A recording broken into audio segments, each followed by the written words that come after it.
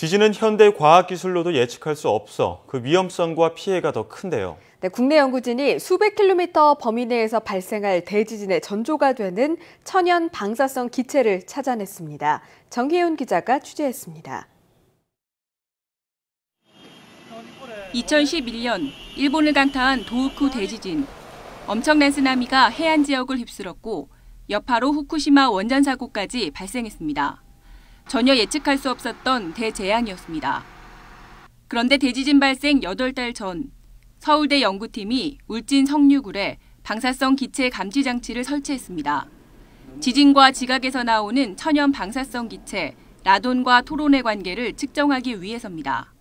기존 연구에서는 지각이 움직일 때 발생하는 CO2, 메탄, 라돈 등 가스를 이용하여 지진을 예측하고자 하였지만 이번 연 구에서는 어, 반감기가 짧은 또론을 이용하여 어, 정, 그 정확, 지진 정확성을 높이고자 하였습니다.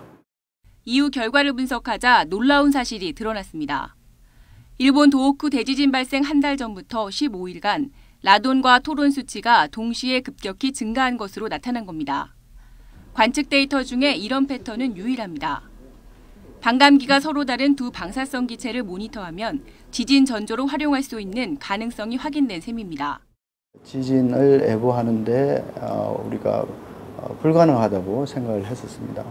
그런데 본 연구에서 어, 라돈과 또론을 동시에 이용해서 측정을 해보니 이 지진 전조 현상만을 뚜렷이 구분해낼 수 있다는 아직 기술적으로 해결해야 할 점은 남아 있습니다. 하나의 측정값만 가지고는 지진 발생 시기나 위치, 강도를 알아낼 수는 없기 때문입니다.